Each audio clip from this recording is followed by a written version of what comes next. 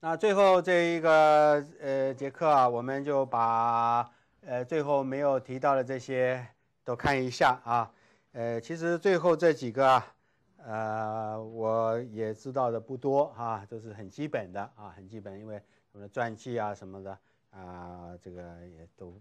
呃中文的资料很少很少啊。好，我们从二十四开始是吧？刚才看到二十三，二十三那个有去印度的女医生嘛？啊，现在从二十四这个是讲那个翻译圣经的部分啊，翻译圣经的这个施工啊，因为现在现在这个有一个差会，就是他是这个创办的啊，呃，金轮滩逊啊，Thompson 啊，这个这个翻译啊很特特别啊，呃，因为他有本传记啊，啊，中文的传记题目就叫金轮熟熟熟的熟，金轮熟 uncle 啊，金轮熟啊，这是有中文的啊。那个呃，汤姆森啊，汤姆森啊，就汤姆森啊，一八九六年，呃，也活了八十几岁啊。这张照片很年轻啊，这个，呃，你这个还是很年轻的时候。他是很年轻就到南美洲去啊，不是是那个南美洲国家，南美洲都讲什么话？西班牙啊，西班牙话。哎，他去的那国家是西班牙话，哎，那。巴西是巴巴西是葡萄牙，就就就只有巴西是葡萄牙，啊，就是巴西是葡萄牙，其他都是西班牙啊。当时他们呃这个画画那个线嘛啊，好，所以这个他到西班牙的这个语言去啊宣教，当地的人说你你们上帝什么话都会讲吧啊？为什么上帝不讲西班牙话啊？非要这个拿英文圣经什么圣经？说上帝不讲西班牙话。啊这个问把他问的这个啊，也很有感触啊。他说：“对呀，上帝应该是什么话都讲啊。”所以就他说：“那这个就是翻译圣经啊。等于他们如果有母语圣经就好了啊。”呃，当然不止西西班牙话是很多人用，他那更有那个一一族一族的，还有那种更少的那种语言啊。嗯，如果每一个呃族群都有自己母语圣经，那也不需要宣教士啊，因为圣经就是宣教士。而且圣经这个宣教是比你人更更更好，人会生病，人会死掉，圣经不会生病，不会死掉啊，呃，也不用花钱支持的啊，所以这个这个感意向啊，就是给他把圣经翻译成所有的母语母语啊，只要有一个族群啊，有有几千人也好啊，呃，我不知道他们的下限是多少啊，到到这到几百人都都可以翻译圣经给你啊。呃，这样子了，但是呃，于是这个是开始开始做这个圣经翻译的工作啊。那么他们参会的宣教士啊，大概一能够能够他这整个宣教生生涯能够完成两个语言的，呃，一般都翻圣新约了，一般是先翻新约啊，能够翻两个新约出来啊，那是大大成功了。能够翻一个语言的新约出来。哎，也算完成任务啊。那很多是一个都没办法做出来啊，这个生病啦，或者是什么啊，状况很多很多啊。哎，这个这个工作到现在还是持续。你看，拿我们台湾做例子啊，台湾绝大部分人是看这个我们叫这个汉汉字的啊，哎，就是这些字。可是呢，有台湾有很多原住民啊，啊，我们叫现在叫原住民，以前叫高山族嘛，啊，是吧？他们。他们每一族其实，台湾的原原住民里面还细分到十几二十种了。他们彼此有文没有文字，只有语言，所以。所以你要他们母语的话，你还要帮他们拼音啊，而且基本上用拼音的啊，拼音的啊。那么像讲那个伯格里到苗族去，他还帮他们设计苗族的文字啊。哎，像那个赋能人到傈僳族去啊，设计傈僳族的文字。呃，这个宣教还要设计文字，然后翻译圣经的，嗯，啊，好，这个是个就是他年老一点啊，他这个还是这个美国人呢喜欢啊这种打扮了啊。那么他这个差会开始也是非常啊辛苦的啊，也因为他这很特别，他专专门做做圣经翻译的啊，然后就要训练人才，就要有。语言学啊，翻译生要要有语言学，所以所以他们这个才会后来附带了产生了很多语言学专家啊。后来在美国很多的这个大学的这个语言的这个系统研究里面啊，他们这个差会贡献很大啊，写了很多论文啊。呃，你看那个书上有一提到一个啊，史史派史派克还是什么，那个语言学家厉害到什么程度啊？你你你让他跟一个完全没见过的那个那个这个土人啊，两个他是现场示范啊，学生坐在下面看，呃，两个人见面从来没见过面，他的语言也从来没听过，呃，那个他就可以跟他拿一个简单的几个树叶、树枝几个东西，跟他慢慢开始啊，比手画脚开始啊，呃，讲讲讲，讲了大概半个小时以后，两个可以沟通了，啊，厉害吧？啊，他就那个语言学家他。可以抓到你那个结构啊，哎，语言就它这个，这还有点像那个呃一个秀一样，有表演一样，语言秀啊，它就可以从比手画脚跟你简单的道具弄一弄啊，以后就可以开始到下课时候两个就可以沟通了啊，这个语言学家很厉害啊，呃，这是他这个拆会啊附带的一个是语言，另外一个就是飞行，他是拆会附带也这个带动那个飞行宣教。因为，因为这种语言都现在哪里啊？都在丛林里面，啊，丛林里面你宣教是去不了，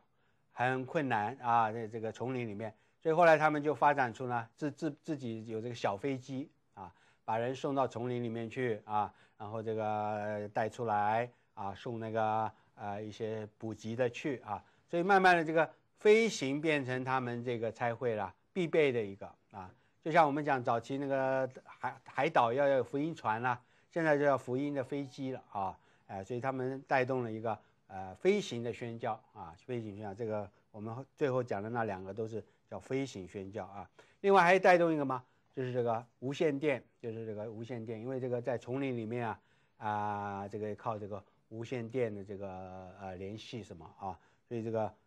无线电的这个呃服务啊，也是跟他们这个差会有关的配套的啊。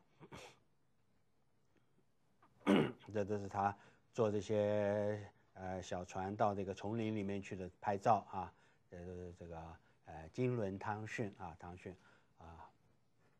呃这是他传记啊。那个那个英文那个下面那个副题就是啊好消息啊，每每一种语言的好消息啊，就是要把。要要把这个好消息，每一种也就是圣经翻译啊，没有圣经翻译啊，呃，二零二五啊啊，嗯嗯，啊，这这个进度现在差不多吧啊。现在他们上次就是因为我们在那个宣教的会议上，他们那个威克里夫的代表过来说，他们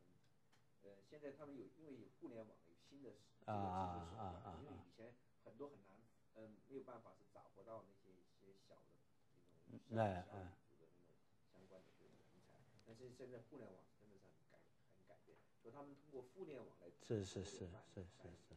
我相信现哎对对对对，一定加快了加快啊！而现在呃人也不一定要到那个地方去啊。过去翻译一个语言，那就在一起搞很长时间。是是是是是，你看我们那个和合本圣经啊，翻了三十年，翻了三十年，就是什么几个委员分散在中国，呃，有四川来的，有有那个什么远方，每次到到到到山东去开会啊，光这个路途遥远啊啊，然后开几个月又回去啊，然后大家把稿子啊这个弄好，下一次再开会，这个太困难了啊，太困难了啊。是是是是是，这我想是我想这个很好啊，这个就是有新的工具可以改善这个过程啊，啊，这都是他的英文的传记啊，英文的传记啊，呃，这就是他的名言啊，这个挂图上呢，就是母语圣经是伟大最伟大的宣教士，他不需要休假，也不会被视为外国人，对吧？有圣经在那边啊，这个你只要读圣经就等于，呃，当然了，呃，人还是少不能少的啦，啊，因为这个，呃，宣教士还可以做一些，呃，人跟人之间的一些这个关怀这些啊，那是圣经没有办法取代的啊，啊，当然他这个说法是特别强调母语圣经的重要啊，强调母语圣经的重要。这是他的坟墓吧？啊，这个很坟墓啊，这蛮新的啊，一八九六到一九八二啊，这是三十年啊，三十年。呃，Dear ones 啊，by love，呃，这个呃，还他这个念念不忘的，还是要完成啊这个任务，就是啊，把圣经翻成每一种。语言啊，是他最后的呃这个愿望啊，愿望啊。嗯，好，这个是大概是这个汤森啊，汤森威廉的这个介绍啊，呃，这个介绍啊。下面一个就是到了这个，到了这个嗯，布鲁格啊，布鲁格是做广播的啊，做这个广播的。呃，布鲁格是广播的啊，呃，一九一三年，呃，这个蛮长寿的，活了九十几岁啊，九十三岁。他跟这个，他跟几个这个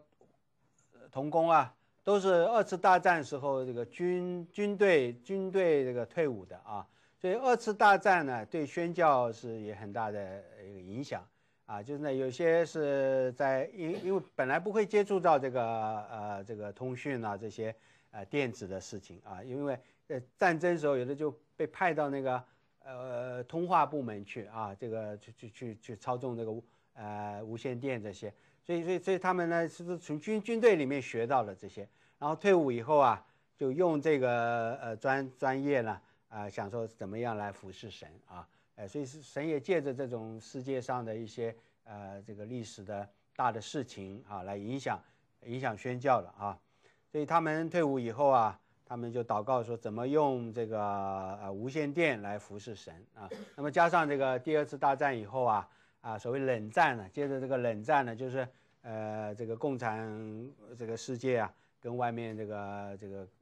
好像这个有隔隔呃，就像中国一样，门也关起来了，很多国家门关起来了，你这个宣传统宣教是进不去啊。那这个电波呢，它是超越了，在空中就进去了，所以很多就想怎么样用广播啊，透过这个广播呢，来把好消息呃传送到世界各地去了啊。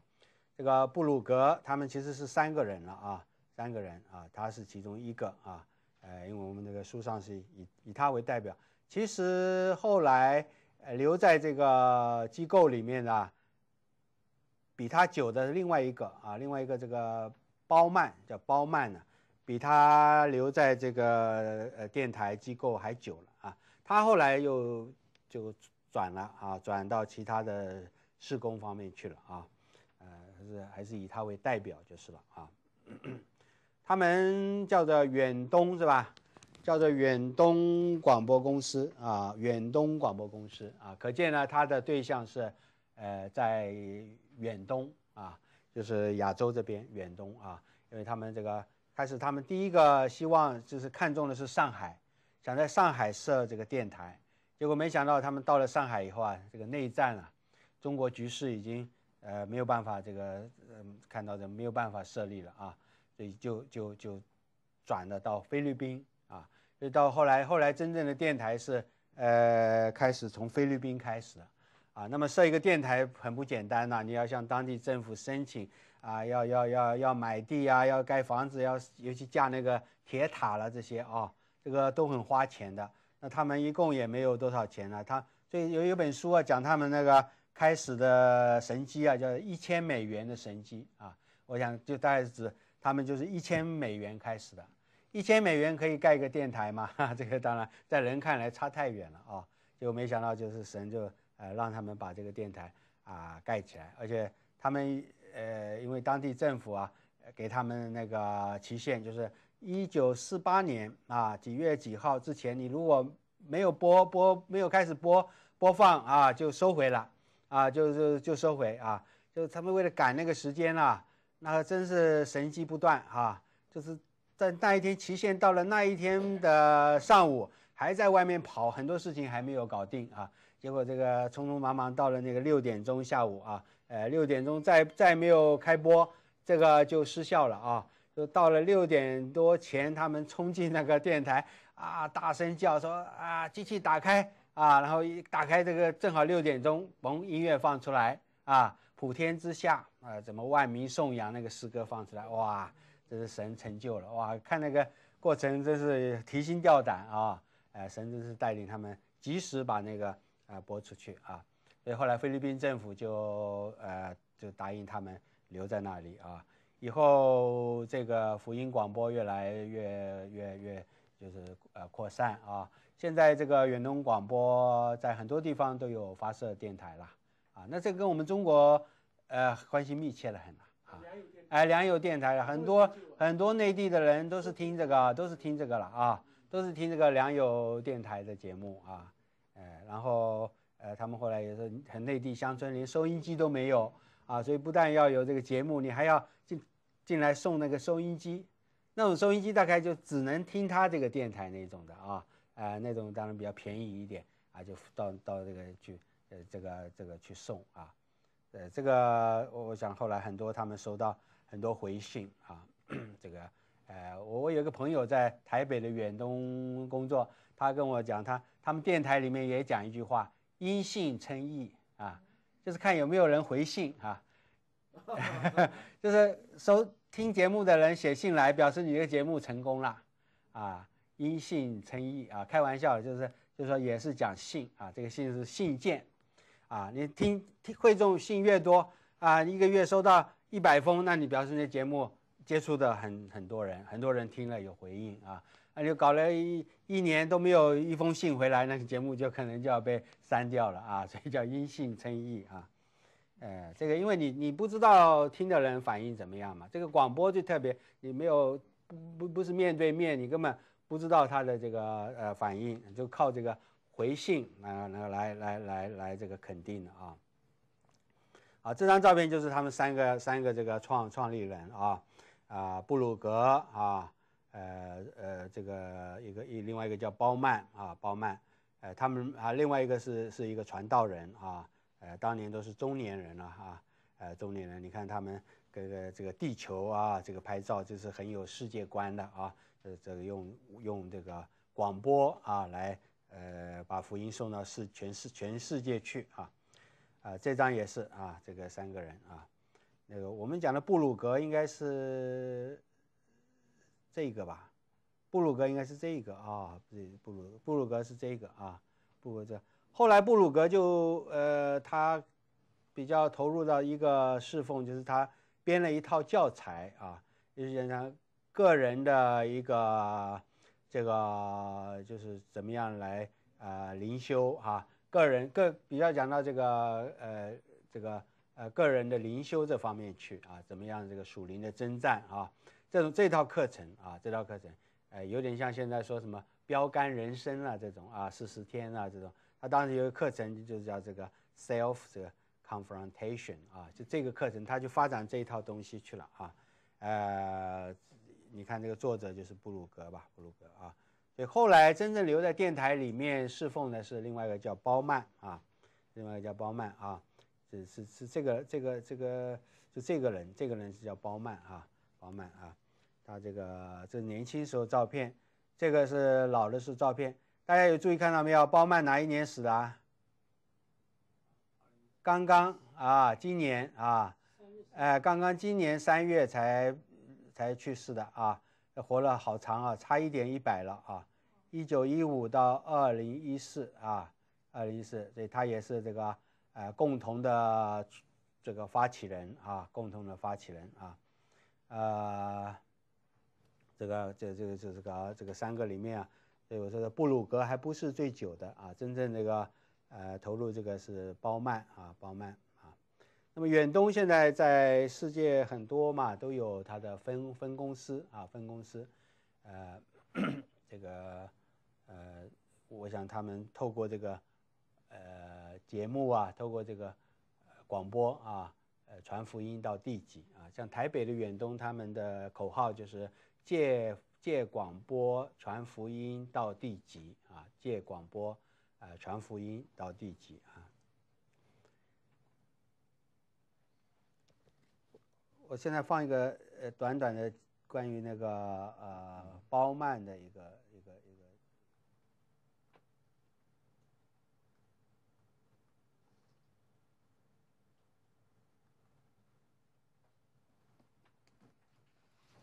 可能不太容易了。哎，好，不错不错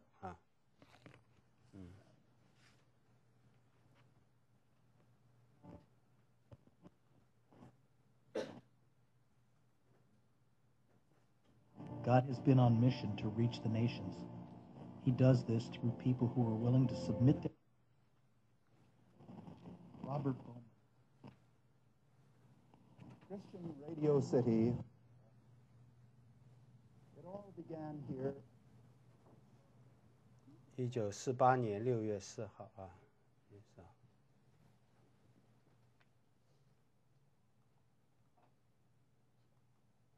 Now, after all of these years, grown to 90 million Christians in China.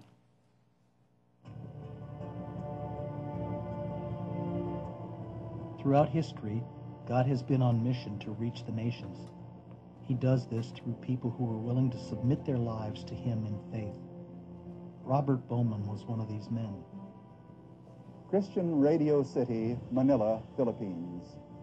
It all began here at 6 p.m. on the night of June 4th, 1948, with the initial broadcast of DZAS. Ito ang Far East Broadcasting Company. Dinadala ang mabuting balita ng kaligtasan. It was envisioned by John Broger, William Roberts, and myself. Dr. Bowman attended Southern California Bible School in Pasadena, currently known as Vanguard University. It was there that Bob found spiritual maturity. A remark from a teacher that struck him was, Bob,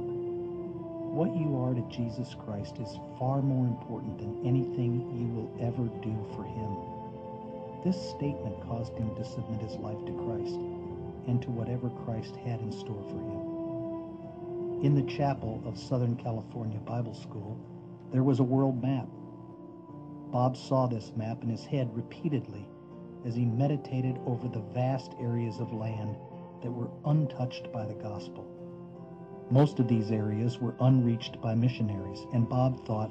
if radio can bring non believers to Christ here in America, why not use it to reach people in faraway places? Here in the Philippine countryside, I want you to meet a trophy of God's grace. I did not believe in God. And uh, it came as a surprise to myself when I found that people love other people even if they do not know them. In 1945, FEBC was founded to share Jesus Christ with the people of China. It has since grown into a large network of radio stations broadcasting the message of Jesus Christ's redemption to people throughout the world, focusing mainly on Asia. Bob Bowman said, From the beginning, we were driven by two things a passion to obey God and compassion for people who didn't know Christ. Now, we knew that this was the essence of the Great Commission, and we also knew there was no turning back once we put our hearts together. We had a few ideas about how we might do it, but God had other ideas. He first showed us we couldn't do it, and that He would do it Himself through us. Bob Bowman never claimed to have an extravagant talent, an incredibly brilliant mind, or a spirit of self achievement. He had a surrendered human heart that was all God needed to shape him into the man of obedience. The passion Bob had for reaching the lost was all supplied and gifted by the Lord for his own glory. Why does Far East Broadcasting Company broadcast the message of the gospel? It's because we love the people. And we want them to know that God loves them too. I was overcome by the realization that this is what FEBC is all about.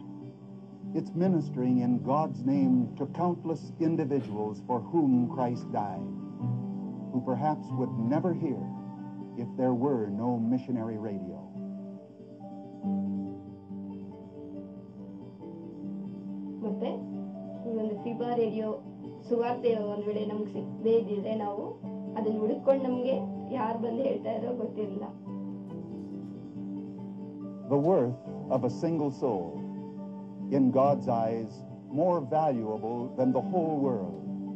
I'm writing this letter on behalf of many in my village who asked me to thank you for your broadcast. We all accepted Jesus as our Savior because of your radio programs. It is the individual for whom Christ died, including men and women with heartbreaking physical needs,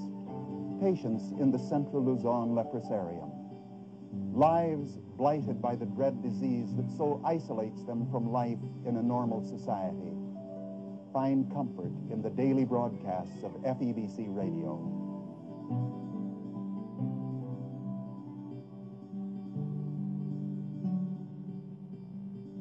One of the most important ways Bob Bowman was able to identify God leading him in his life was by the peace in his heart. If you come to the time that you're struggling with something that is very significant uh, and uh, you don't have peace about it, you just keep waiting until you have peace. And when the Lord puts peace in your heart, you can know He's talking. Bob found that peace. Radio is the spiritual lifeline to these who are so completely isolated from all other means of hearing the word. I found a new family because of your ministry. I'm not alone anymore. I'm so grateful you led me to Jesus. Bob Bowman was also extremely careful to keep preaching the gospel as FEBC's main focus. He advised We have to be careful that we always maintain the vision that God gave and use these other things on the side as things that can be used along the way. And don't let that take your eyes off of the mark. millions of people each year contact this organization in response to the gospel message being broadcast. Yet Bob never took. When we look at what God has done, I mean, it's until you see it all on a map of the world and what's going on everywhere, you you're blown over. Yeah. And when I look at that, I say, well, I don't know why God chose me to be one of the ones that helped to found it. The scripture says he chooses the foolish things of the world to confound the wise. Bob Bowman's life is the story of changed hearts through Christ, only to glorify God. Because of one man's faithfulness, FEBC continues to broadcast the message until the Lord returns. As Bob Bowman constantly repeated the words of William Carey, attempt great things for God, expect great things from God. We at FEBC are so committed to fulfill the legacy started some 70 years ago by Bob Bowman. We will never let him down. This is the joyful thing, the legacy. And I often say to people, it's your ministry, and you are the one with us that are accomplishing this. We praise God for you. And I think the legacy of FEBC is simply the millions of souls that have come to faith in Christ throughout the vast Asian area during these times. The legacy is these are the people, Lord Jesus, that we bring to place before you your kindness and bringing them to faith in yourself, having their sins forgiven, entering the, the joyous kingdom of our Lord Jesus Christ.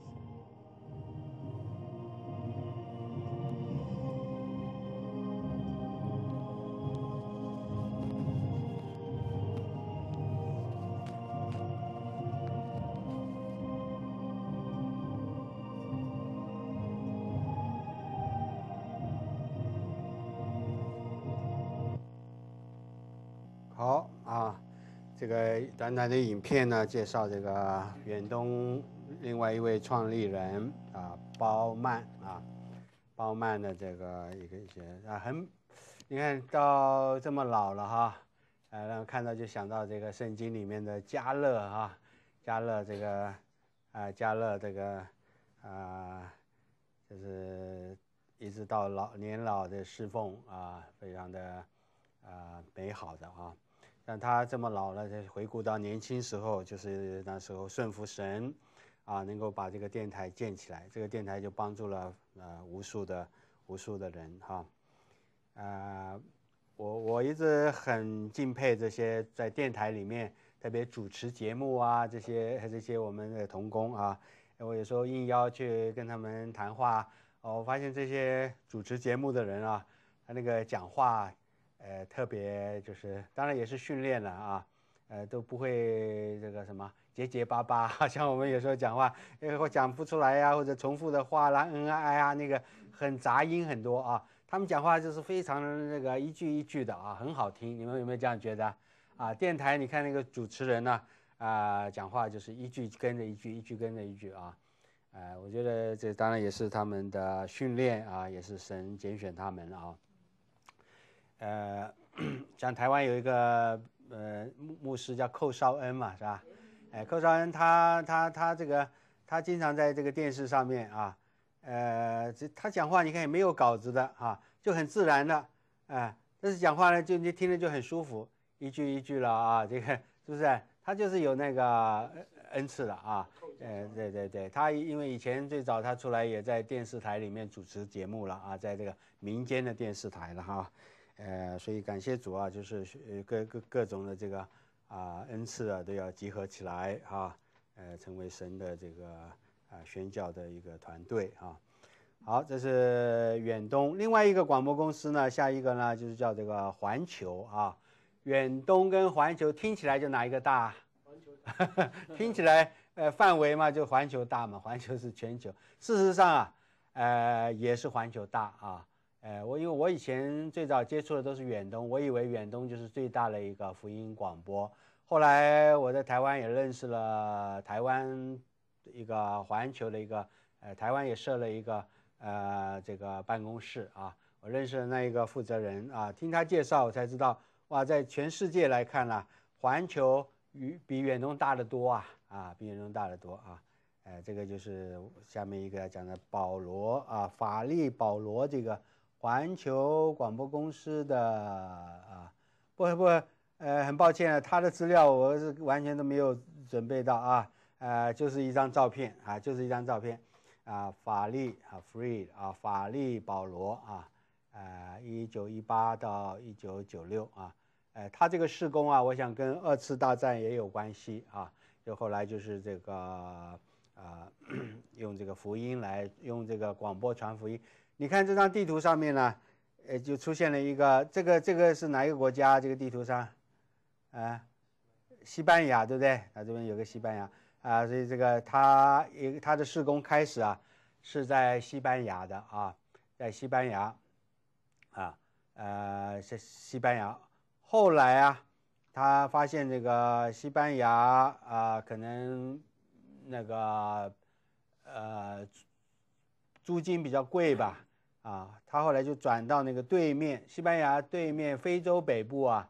啊，这个这边呢，所以后来电台设在非洲北部啊，非洲非洲北部啊，那这个他们设立以后啊，开始以后也是神机不断啊，啊，银行的贷款啦，啊，这个一天里面啊，哎，或者是每每每每三个月吧，怎么要交多少的贷款，他们都都是都是没有的。啊，然后每一次付款都是神机啊，那个书上稍微有提到啊，每一次付款都是神机啊，就把那个贷款都还清了。另外呢，要要一个呃童工，需要有这个呃管理的恩赐啊。最后想来想去啊，呃想不到别人，就想到自己的父亲了啊。他父亲呢是刚刚从宣教士回到啊退休，回到美国啊，接受了一个。神学院的邀请去担任啊教授还是校长，我不记得了啊。反正呢，呃，应该是很这个应该是很安定的啊，也是比较呃这个轻松的一个呃，比起以前在外面宣教啊。这时候他又提出来叫他父亲来来来来来西班牙帮助他啊，等于又要呃重新开始过那个宣教士的生活啊。呃，没想到他父亲呃有有感动啊，也一口答应了，所以后来他父亲父子两个一起在这个施工上来这个承担起来啊，所以他父亲给他很大的帮助啊，呃，这个，所以 这个就是这个环球环球以后环球呃也是在各地设立电台吧啊，设立电台啊，详细情形我也不太清楚了啊，反正呃环球这个顾名思义啊。它不只是远东啦，它是向全世界的这个呃播音，所以它的节目啊，那个语言更多了，有好好多种语言啊，来来来来播放啊，呃，这个很有意思了哈，啊，当然现在要更好的，呃，更更那个啊，比较呃呃这个呃，应该也是说更重要的媒体就是电视了啦，你广播现在听广播的人多不多啦？除了开车，你你很多人在家里是不会听广播了啊。像我们小时候是只有只有只有广播了啊，这个这听广播。呃，现在我想听广播的人越来越少啊，那看电视啊电视，所以现在更要是在电视电视台方面啊，在电视台。我想美国这边应该教会的电视台应该也不少啊，就是属于教会的电视台啊。在湾区啊，呃，有两个基督教的电。是华人吗？还是一个是生命和能量哦哦，他们自己的啊，还有一个就是那个香港的创世电视哦，创世开了哦哦哦，哎，都他们一一他们是自己有自己的频道，是不是？对对对。哦，那呃，新开的，嗯嗯，都是他们二十四小时吗？呃，二十四小时倒闭，但是他们就是新开的啊啊，有两个频道了啊，所以这个就是就是啊，就是这个啊创创世这。啊，这个很好，是吧？这个呃，在台湾唯一的就是叫好消息电视台啊，Good TV 啊，Good TV，这个也是几十年了啊。这个啊，也当然台湾这个唯一的一个哦，还有呃，长老教会有一个有一个电视台，不过用的人不多，那大部分呢还是因为好消息是是一个呃超超宗派的啊，超宗派，呃。那他的现在节目也是走向要自制率要高一点啊，其实基本上很多现在讲到还是拿国外讲员的翻译翻译这个中文啊，哎，这也很这也蛮好的了，就是有好的讲员这样个能够能够分享啊。那这个呃，在台湾话这个好消息电视台啊，很多国内也收得到啊。哎，现在网络也可以看。我们教会都装了啊，现在在深圳啊，对对啊，啊，啊啊，是是是，是是是都可以看的哦，都可以看，嗯，啊，这个感谢主啊，也给我机会，我在好消息也算有一点点的呃参与啊，就是讲讲这个宣教故事，我也我也邀请我去讲了，呃，几年前去讲过一次。呃，然后今年又去讲了十十几个小时啊，还没播出。今年讲的，呃，大概呃，这个今年年底开始啊，会会，它放在空中主日学里面啊，会会播出啊。所以感谢主，我呃，这个我就所以我觉得说，呃，很佩服那些那个不用稿子就能够讲的啊，像我们的话没有稿子，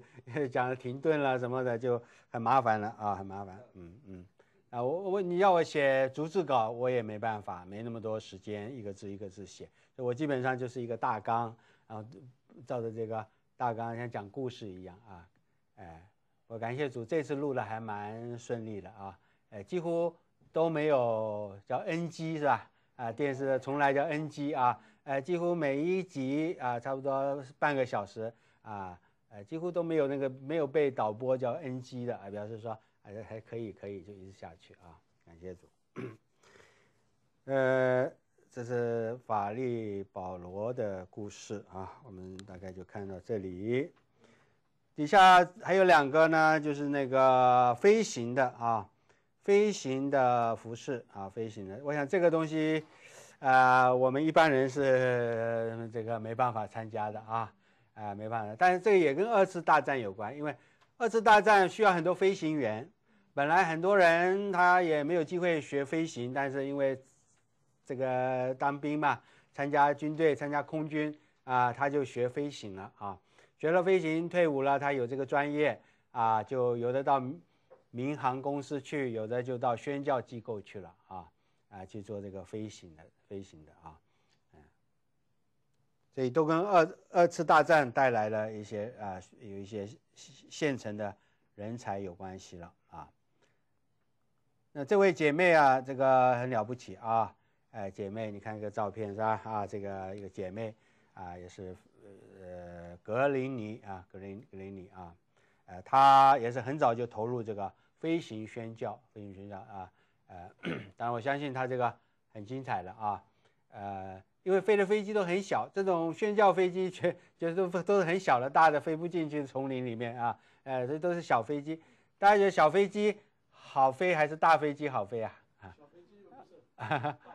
啊，我我们不懂了啊，就是小飞机不好飞啊，小飞机不好飞，那个那个呃。呃，容容易容易那个啊，容易那个就是就是出事情啊，所以常常出事情都是小飞机啊，所以这个更不更不简单啊。那就是你一个拆会，你飞机嘛很很值钱啊，你不能稍微坏了，要尤其在丛林里面，你找人来修都没有办法啊。所以他们这个很很看重的就是维修的技术啊，啊，不但要飞，还要会修啊，还会修那简单的这些都要能够。修理，所以他们那个丛林的飞行啊，这飞机啊，总都经常会出事情啊，啊，还要这个自己修理的。啊，这个就是这位葛林尼姐妹啊，呃，我们没有看到她的中文的传记啊，所以呃，就是简单的看一下啊。有本传记嘛，啊，这是我传记，这个 Wings to Serve 就是这个服饰的翅膀啊，服饰的翅膀就表示这个翅膀当然是飞机了。它的飞机是拿来服饰的，呃，到这些比较偏远的丛林的地区去了啊，或者是离岛啊，比较这个难去的地方啊，呃，这个我想他们也有个团契，就叫好像飞行团契啊，专门都这这要参加这团契，当然都是要会飞的人啊，这是要都是要会会这个飞行的人啊，呃，这个是非常专业的，我想这个大概是呃。非常相当专业的一个团契啊，一般人是没有办法加入的。那为了支持飞行宣教啊，这个我看到还有一张信用卡啊，这个 Visa 卡啊，是支持飞行，意思说你用这张信用卡啊，你刷的话，呃，它百分之几啊，就奉献给这个团契啊，呃，这个一个团契能够申请到这个。呃，一个信用卡啊，不知道这个手续怎么办的。反正呢，他们可以有自己的信用卡啊，就是这个 M A F，就是啊飞行团契啊，飞行的这个呃飞行宣教团契啊，M A F 啊，呃他们的飞机大概就这么大的啊，最大概就这么大了啊，呃这个在丛丛林里面啊。好，下面很快了啊，这个进度都很快，到这个。呃，二十八，二十八是这个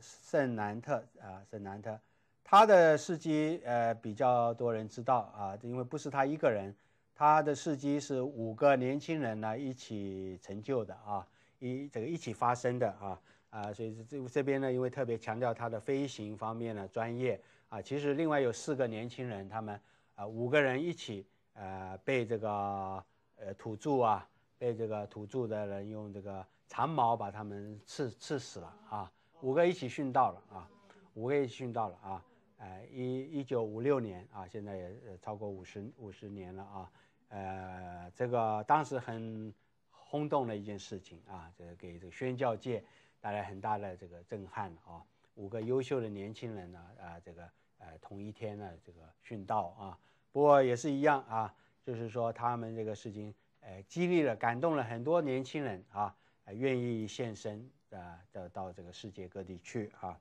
啊，这个非常非常好的见证。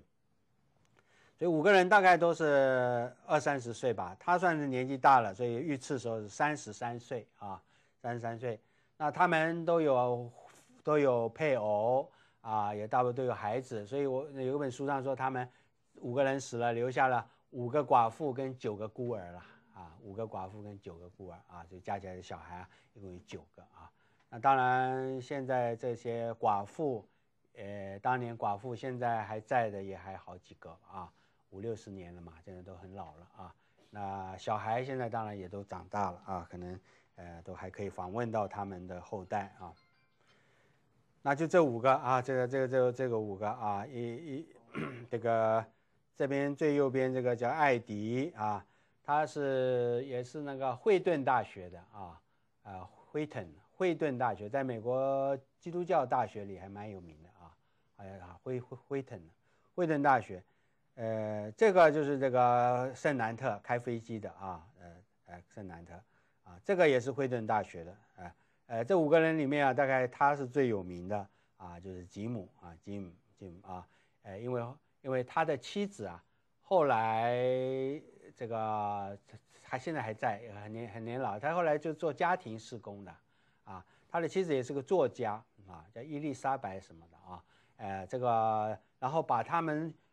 这个殉道的故事最早写成书的就是他的妻子啊，呃，所以这个算大家对他比较比较是这个呃有，而且他也留下一句很有名的话啊，这个是呃叫 Peter 啊比比特比特啊 Fleming 啊，他学哲学的，也是也是学哲学的啊，呃呃，这个是 Roger 啊，他是二次大战的时候他是。海军陆战队的那个啊，这个一个一个当兵的，所以他对于这个丛林里面怎么求生，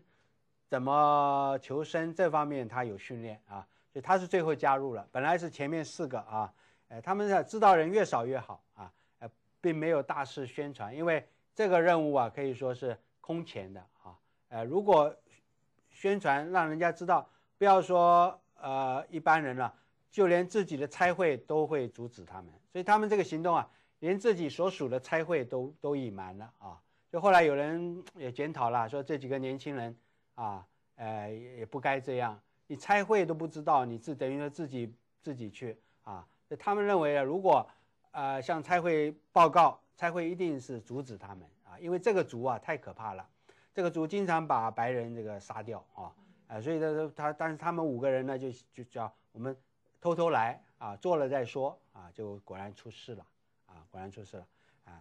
呃，他们五个人是属于三个不同的差会啊，三个不，所以他们是跨跨差会的一个结合起来啊，就是这个他们就是唯一的共同负担就是希望这一族啊，那时候叫奥卡奥卡族啊，后来知道奥卡族这个名字啊，对这个对他们来说，名字呃是别人称他们啊，呃。不好，不好的意思。他们自己叫瓦达尼啊，瓦达尼，瓦达尼才是他们自己的名字。所以现在一般书上就把它改成瓦达尼族啊，瓦达尼族了。呃，那当然呢，过去他们很封闭啊，呃，跟白人呢这个经常是冲突了啊，因为这个西班牙人呢去那个开采石油啊，进入他们的范围里面去啊，也是被他们杀了啊。呃，他们那个杀人都是用长矛啊，那个那个矛。很长了，有点像我们跳那个撑杆跳那种那么长了啊！那个那个这么长，那个力量就特别大啊！刺下去都是穿穿透的，都是穿透。所以所以这个很很很很野蛮啊！当然现在完全改改观了啊！后来现在这个福音进到这个族啊，现在这个族是非常和平的啊，也有教会啊什么的啊，这个很非常动人的一个宣教的这个故事啊！啊，就是他们他们三个啊。呃，那中间这个呃，比特手上抱了一只什么什么动物啊？鹦鹉，对不对啊？这个看了看，有一只鹦鹉。这鹦鹉哪来的呢？这鹦鹉就是这个瓦达尼族的人啊送给他们的啊，因为他们开始啊，呃，就靠着飞机去绕这个村村庄，绕村庄，然后他们就把那个筒子掉下去啊，送点小礼物给他们啊，呃，然后在里面绕圈子，那个筒子就可以。呃，悬下垂下去，结果这个瓦达尼族啊，开始很害怕，后来一天一天呢，慢慢的这个就开放一点。啊。有一天他们就放了一只鹦鹉在里面啊，给他们拉上来，很开心，就表示瓦达尼族啊有回应了啊，送了他们一个鹦鹉做做礼物啊，哎，所以后来这个到了呃，这这这是真真人的照片啊，这不是电影啊，因为后来有拍成电影啊，拍成电影啊。啊，这个后来有一天呢，他们终于见到了这个瓦伦尼人了啊，瓦伦尼瓦瓦达尼瓦伦尼人啊，瓦伦尼人呢从这个丛林里面出来三个啊，一个男的，两个女的啊。呃，就他们跟他呃玩了一个下午啊，给他们吃吃东西啊，带他们还带他坐飞机了啊，还带他坐飞机到他们的村子上绕一圈啊，一切都好像呃很正常啊啊，然后这三个人就走了回去了。他们以为啊这个接触非常好嘛啊，这个下一步一定是会带更多人出来哈，就可以跟他们做朋友啊，结果没想到过两天啊。呃，这个带出来人呢，就是带着这个长矛啊，啊，见到他们就就丢就刺啊，呃，把他们五个全部杀了啊。那后来说为什么呢？啊，这个 就是因为这个年轻人啊，这个出来这个年轻人呢，他跟另外一个年轻人呢，一个女孩子啊，他们要好，可是呢，两边家长反对啊。那么在他们这个组里面，家长反对，你们如果还交往的话。哎，就要被打死了啊！所以他们交往了以后啊，呃，他们回去很害怕啊，他们他们回去很害怕，呃，不知道这个家长会怎么样的来呃处理他们，所以他们就转移目标，编了一个危机了，就是说外面的白人来了，他们看到了这些白人要来杀我们的族人啊，其实人家白人对他们很好啊，这是他是编的啊。编的，所以这个族人恐恐怖起来说好，大家赶快先先动手吧，把他们杀掉，是这样子的啊，哎，这个这个怎么知道呢？后来就是因为圣南特的儿子啊，他们后来呃这个都回到这个部落里面去啊，呃跟那个部落人都成为好朋友了啊，成为好朋友以后，呃他慢慢打听出来了，就是当时为什么好好的大家见面很开心的。礼拜五很开心的这个见面，为什么礼拜天就就拿了长矛就来刺了啊？呃，慢慢查出来是这样的一个，呃，这个关键是这样的，等于是呃这个年轻人呢，这个转移目标哈，转移目标。啊，你后来甚至这个圣兰特的儿女啊，呃，都都是由这个杀他们父亲的这些人帮他们施洗的，啊，等于是杀父的仇人啊，呃。他们信了耶稣，成为教会的领袖啊，呃，反过来为白人施洗啊，这个很特别吧？啊，很特别啊，呃，你看他的儿女啊，就等于这杀他父亲的人变成他的牧师了，然后甚至呃，尤其有一个对这个圣南特的儿子啊，呃，现在也很大了啊，叫也是叫这个史史史蒂夫啊，啊，好像这个认他做干儿子一样了啊，认他做义父了啊，凶手变义父了这样啊。这是相当大的饶恕了啊，相当的饶恕啊。嗯嗯，哎，这真的是在基督里面才有的事情啊。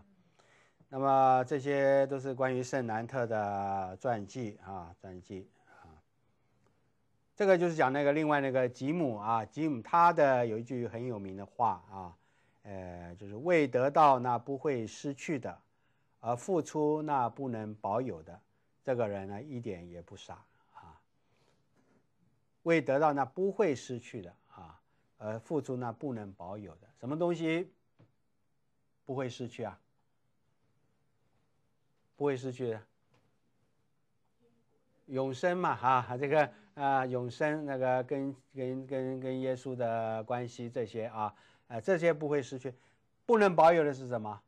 啊，其实世界上什么都不能保有啊，哎，包括性命，包括财钱财，是吧？这个青春。都不能保有，所以他老早就讲了这句话啊。所以后来他真的是付出了，然后呢，呃，殉道了啊。所以人家看了他的日记以后啊，呃，也就释怀了啊。本来也觉得这些人太可惜了，这么年轻啊，都殉道了啊。这个日记呢是记在他的这这这句话里面啊，这里也看到啊，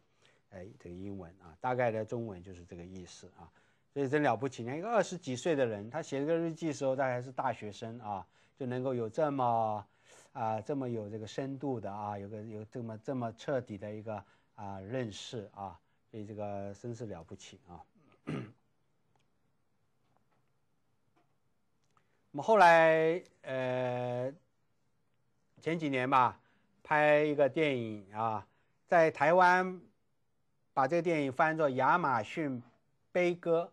啊，《亚马逊悲歌》这个当然不是照呃英文的片名翻的，因为英文片名里看不到亚马逊了啊，亚马逊是那条河的名字。英文的片名是《End of the Spear》啊，就是一个那个毛的尾巴啊。End 不，其实不能翻作尾巴了，End 应该是结束的意思，就是说这个部落原来就是拿长矛大家彼此啊屠杀啊，现在大家这个放下了长矛啊，呃，不再用长矛来相相杀相相残了啊，哎，这个 End 应该是结束的意思啊，可是我们国内啊，把就把它翻作尾巴的意思啊，所以国内的翻译这边变就两个字叫毛尾啊。毛的尾巴啊，你们听说过吗？啊，毛尾啊，这个翻译不高明啊，不高明的 啊，不是毛尾的意思啊，应该是结束了啊，放下了啊，不再使用了这个意思啊，不也很难翻啊？呃，这个放下毛啊，放下长毛，放下这个也不是很哈，所以在台湾的翻译有的蛮厉害的，他干脆就跳开这个字面，而且亚马逊，亚马逊这个地方啊，一个悲歌啊，不过毕竟是。基督徒不是基督徒吧？就他们认为这是一个悲悲悲剧悲歌啊。那我呢认为说，要我翻话，呃，我们不叫悲歌，我把它叫做凯旋的凯歌啊。就是说，其实殉道是一个凯歌啊。如果如果殉道是悲歌的话，这个是啊，还没盼望了啊。呃，亚马逊一个凯歌啊。那这个电影我那时候在台湾。我听说有这个电影，我很兴奋，很期待，因为我这个故事我早就知道了啊，呃，结果一直等啊等啊，等了，终于那个看到广告了，说几月几号啊，在某某电影院开始上演啊。我那天呢一这个老一一一早就跑去想买张票啊，呃，那是晚上才开始，大概七点七点钟开始啊，第一场啊，我一定要赶第一场看，因为这个宣教电影啊，那个很少有的哈。有了六点半就到了戏院，买张票，然后去吃饭啊。吃完饭回来七点正好进去看啊。结果我买票时候啊，那个卖票的人就说：“你现在就可以进去看了啊。”我说：“这个不七点吗？”他也不跟我解释，他就说：“你现在进去吧。”啊，很奇怪哈。结果我就这个好吧，既然人家都开口了，我就早早早看那就算了，先不吃饭了。六点半跑进啊，跑进去。台北像很多电影院，它是分隔了很多厅，很多厅的，一厅一厅，每一厅其实坐的人不多啊，大概几十个人就一个电影院这样的啊。就那个厅我进去啊，就我一个人啊，就一个人啦，然后灯都没有开，还暗的啊，我心里就有点啊，有点紧张了。我说怎么灯都不开，叫我进来啊？会不会有这个阴谋什么的？我又跑出去又问他，我说里面灯也没开，他说没关系，你进去灯就开了啊，还非要我进去了。啊，不照他的七点了，结果我就六点半又进去，进去真的，以后这个就就就开始了，荧幕上啊什么什么啊就开始，我就选一个什么位置呢？我就选全场里面最中心那个位置啊，呃，四面都有门，我在想万一有什么状况啊，啊，坏人出现，我这个还有四个门可以逃啊，真的，呃，真的有点害怕，怎么怎么一个人也没有叫我一个人进来看啊，很很很很不正常啊。后来好吧，开始演了，就专心看，看了看，看到哎，演完了，灯一打开，还是我一个人啊，哎，就是是真的是很奇怪哈，好像就为我一个人特别演了这一场啊，那我后来就就走了，就走了啊，我一到现在还很纳闷啊，难道七点就没有人来看吗？他难道有这个先知吗？啊，知道说这这天就没有别人看吗？啊，哎，就是早点放，放完他就下班了，也许这样子啊。哎，后来也是，就是一方面啊不不，也那么一方面也觉得很很难过啊，这么好电影宣教电影，真的是没有第二个观众，哈哈，根本大家一看这个不叫什么啊，真的是没兴趣吧？一般人是没有兴趣啊，呃，这个他的呃这个完全不知道这个背景，那个亚马逊悲歌啊，什么太深入蛮荒部落，呃，探索异教禁区。啊，是匡树还是救赎啊？这种这种那个介绍是吧？人家不会有兴趣的啊。啊，后来我儿子啊，我叫我儿子说，你赶快也去看啊。哎，他那时候还在念书，就叫他去看啊。第二天，他那时候正在交女朋友啊，我说你带你女朋友去看啊。结果第二天呢，啊，我说几个人啊？他说五个。我说不错了，除了你们两个还多三个。我说第一天只有我一个人了哈。哎，这电影没有什么观众，没有什么观众啊。呃，几天就下片了，就就看不到了。还好啊，还好就是说有那个 DVD 了啦，啊，有那个市面上有那个 DVD，所以所以我就把它啊后来买啊。对，教会也都不知道啊，呃，所以我我就难过，就是连教会，哎，对对对，我说连教会都不知道这个电影是宣教电影，你看这个是不是啊？太这太太了啊，宣传做的不好啊，哎，其实像这种电影啊，教会包场了啊，对不对？哎。这个太可惜了啊，拍的不错的，你知道毛伟吗？你上网看看，应该还都查得搜得到的啊。他就是真的是是演他们那个，啊，这拍的很好的啊。我现在找那个其中一段给你看看啊，呃，其中一段来看看啊，这个拍的很好的啊，毛伟，完全不知道啊，所以我特别觉得很很很可惜的啊，这个宣教伟人。拍的很好的，就是他们在海边，在河边等他们出来。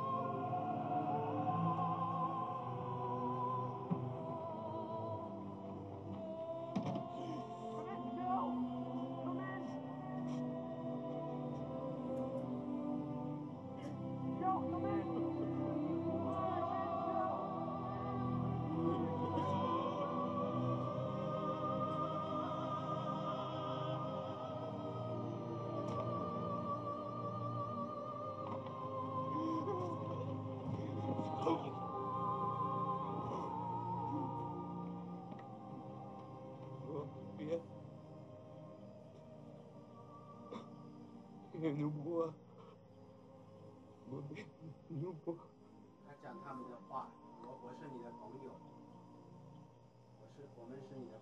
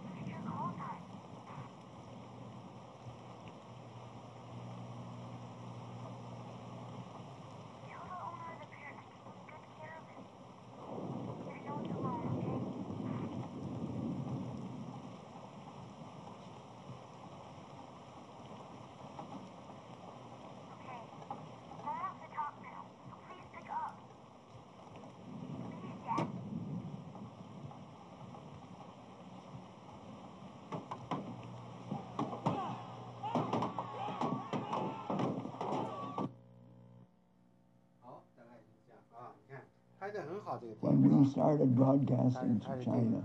there were two million Christians in China. But now, 啊，还有一段，这个是呃，整个把这个宣教的历史啊，嗯，做一个介绍的啊。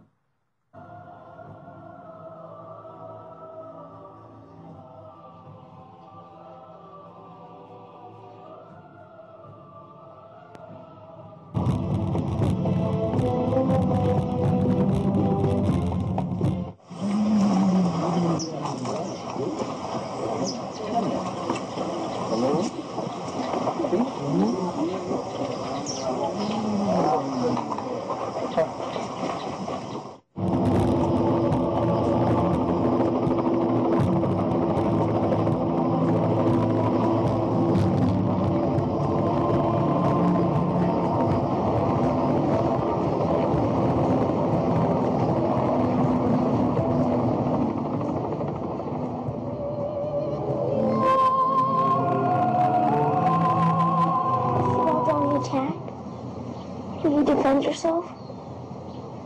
when you use your guns? Son, we can't shoot the Wadani. They're not ready for heaven. We are. Promise me one thing. Just one. One thing. Sound like your mother. If you get in a jam, a real jam, promise me you'll say these words to them. What words? The Wabdani words. I mean, I am your friend. Your sincere friend. Will be a Nimba.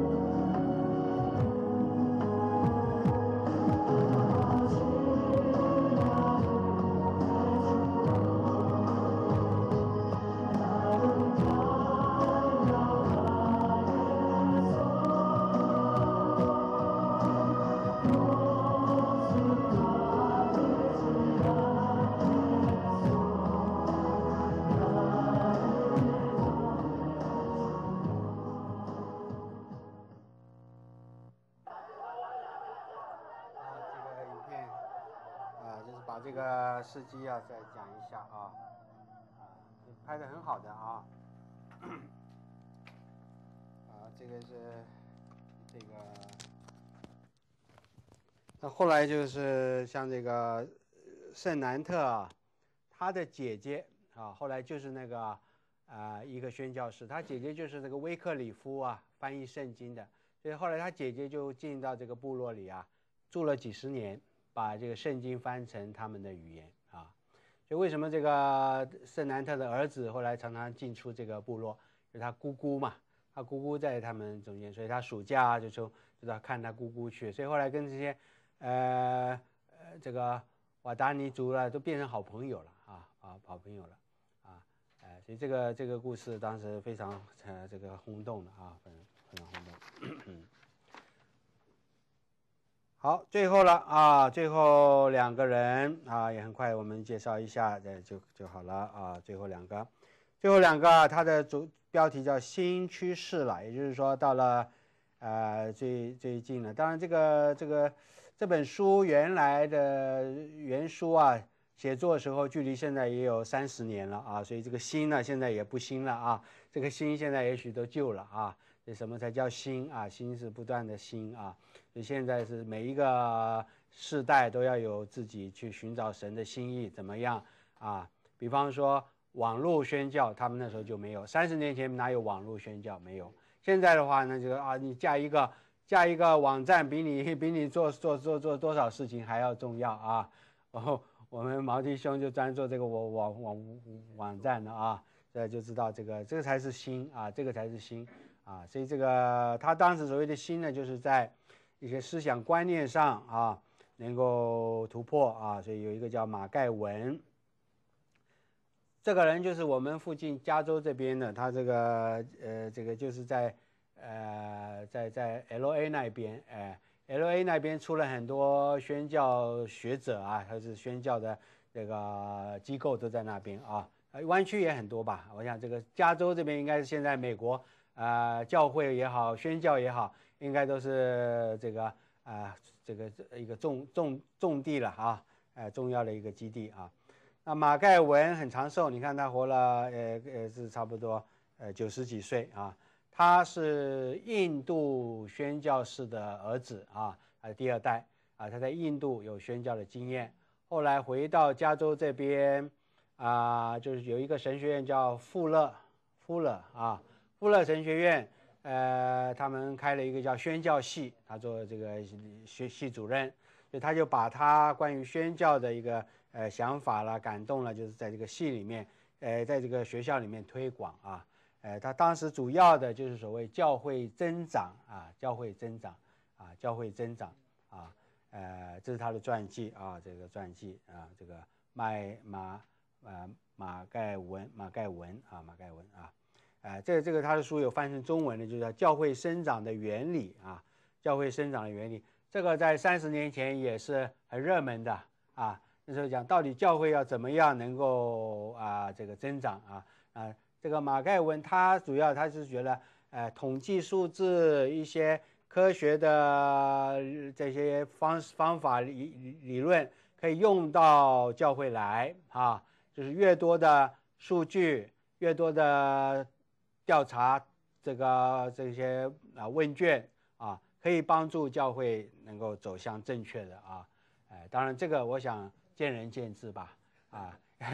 要你今天问我怎么样教会增长，我我真的是说只有上帝能啊，哎，这个真的是圣灵圣灵的工作啊，你所有人的方法啊都都是不可靠的啊，当时他就非常相信这个。呃，用这些方法，当然他不否，绝对不，绝对不不排斥圣灵，不排斥啊这个上帝的作为啊，但是他觉得人这边是可以用很多帮助的，帮帮助的啊，用方法来帮助这个这个教会增长啊，呃，这个呃呃，比方说他觉得说，呃，这个同一个族群彼此的宣教比较好，所以你一个教会，你你可以开始时候你就做。呃，同性质的，比方说华人，你就做华人啊，甚至你呃呃这个大陆来的、台湾来的、香港来的，都都要分开，因为大家背景不同啊，就是你越越来越窄了。他认为这个同性质的啊才能够呃真正的这个彼此这个能够做，这个太窄了一点，是吧？你看同样华人，你还要分还要分那个背景啊。他的理论就是说，呃，这个呃同一族群啊，同一背景的啊，大家在一起，这个才能够增长，否则的话呢，就是这个困难啊。很多这个见仁见智了，所以他也当然很看重基督教跟文化的冲突啊，哎，这个这个他他有很多这方面的呃讨论啊，讨论啊，就是上帝的桥啊，强调宣教必须要有桥啊。这桥就是什么呢？就是文化啊，文化，哎，这个，当然这个我们觉得也是很重要，因为文化毕竟是根深蒂固的啊，所以你怎么样通过文化啊，比方说中国人过很多节啊，中秋节、端午节啊，一这个春节这些节怎么样的把它赋予属灵的意思意义啊？怎么样透过这些节庆啊，让这个福音可以。呃，放在里面啊，是这种这种的想法就是了啊，啊，这个就是富勒神学院啊，哎，都都在呃 L A 那边啊，富勒神学院啊。好，那最后一个了啊，最后一个了，最后一个叫做温德尔啊，温德尔，他也在在 L A 那边，呃，建立了一个机构啊，建立一个机构。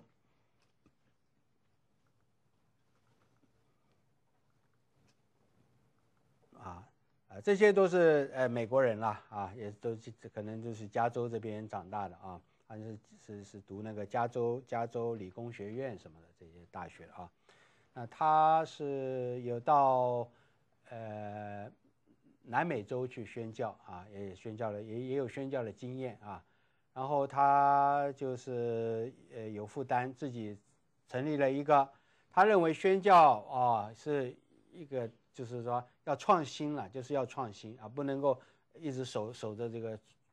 旧的方法啊。那怎么样创新？就是大家集思广益啊，把你最好的经验分享出来啊。所以呢，呃，你很多退休的宣教士啊，你不要就到养老院去了，你就可以把你的这个经验来分享，大家交流，怎么样找出最好的方式啊？所以他就想成立一个这种宣教研究的中心啊。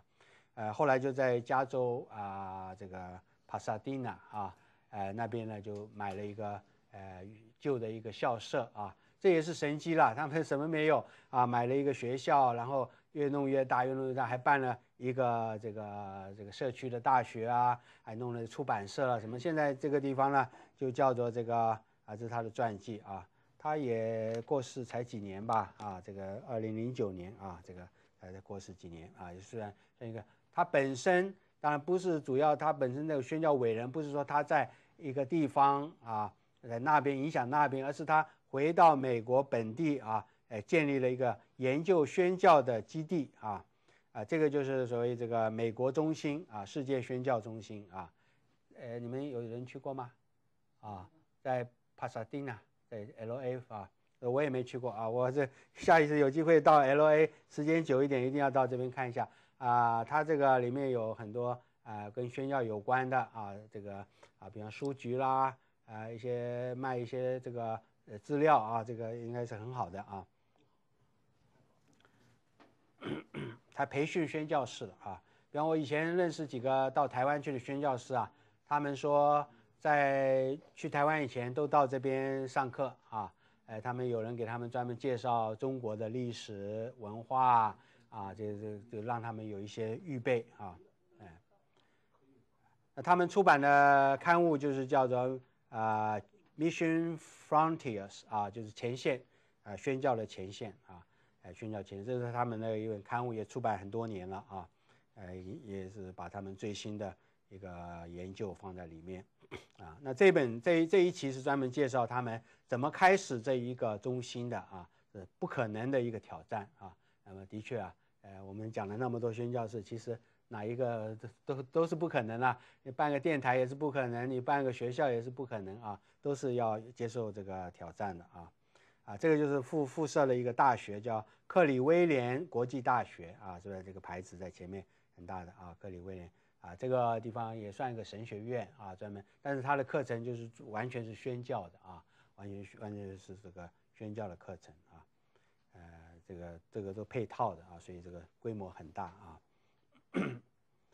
啊，那么那个书上形容这个温温德尔他本身的生活啊啊，这个是两极化啊，一面是非常简朴，一面是最科技的啊，就穿的衣服、生活、吃的都是最简朴的，就跟我们的吴长老形容了那个呃，都是那个呃旧旧旧衣店里面一块钱两块钱买来的啊，呃，他穿的这个这这最最便宜的，但是他用的电脑一定是最新的啊。呃，这个是现在最新的叫什么？这个啊，这个苹果的什么的，反正都是最新设备啊。他们是这样，他们认为要最新的这个设备才跟世界这个呃能够沟通很快啊。所以他们里面的很多设备都是最贵的，但是生活是最简单的啊。哎，他们说这个不叫简朴生活，这个叫战斗生活，就是说他随时是预备要哎这个战斗的啊。战斗你士兵出去，武器一定要最好的。啊，所以这个也很有道理了啊，我们也可以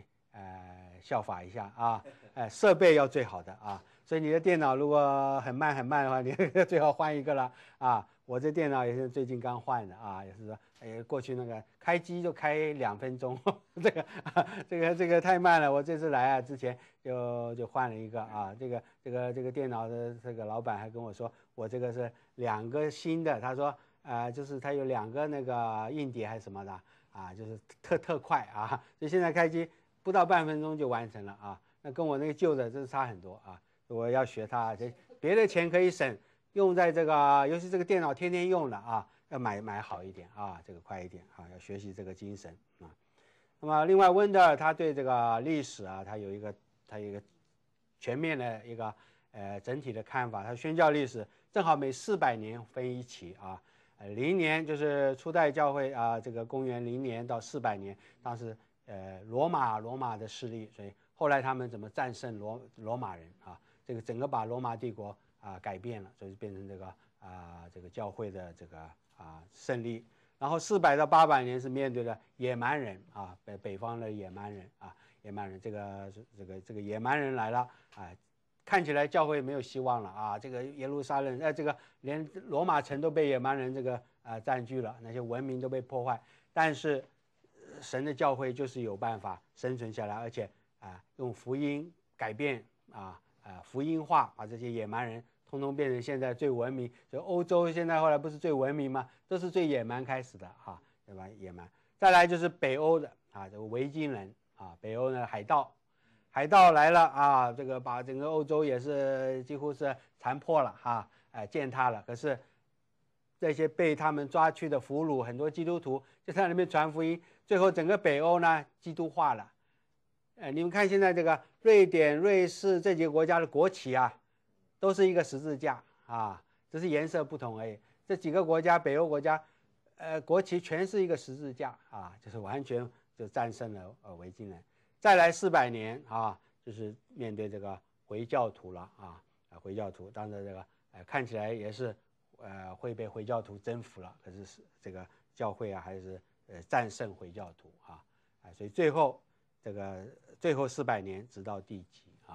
啊，当然他这个划分不一定说非常的呃准确，因为我们知道那时候所谓战胜回教徒啊是一个阶段性的，今天。哈，回教徒更难战胜了啊，所以是更要这个呃，这个更要更要这个呃呃，这个依依靠这个神的大能了啊。所以大致他有一个看法，那个很非常鼓舞的，就是表示说这个基督教会是经历一次一次的，你看起来是要失败了啊，要被消灭了，他那个还是翻转过来，翻转过来啊，神是永远得胜的，历史永远是得胜的啊。哎。这几个阶段都是要被那个，哎，都是要对对对，征服了，没错啊，呃，都是这个翻翻转过来啊，这我想这个很很激励，很激励我们，很激励我们的啊，啊，哎，共这这是直到地级里面的一小部分了啊，一小部分。